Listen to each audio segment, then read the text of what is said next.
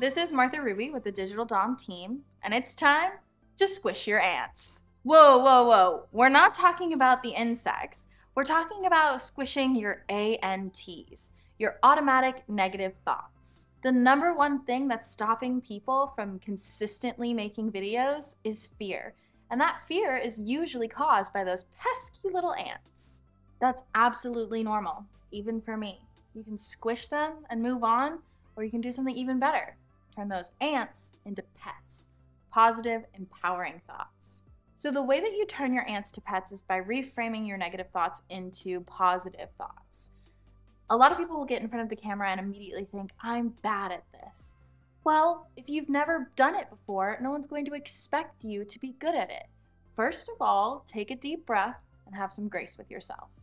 Second of all, maybe reframe this thought. Instead of thinking, oh, I'm bad at this, remind yourself how brave you are for trying something new. Be proud of yourself for learning a new skill. These are all positive, empowering thoughts that will help you be more successful in your video making and your content creation, as well as your everyday life. And remember, we're always here for you. We're your biggest cheerleaders. Thanks so much, and we look forward to your success in the digital world.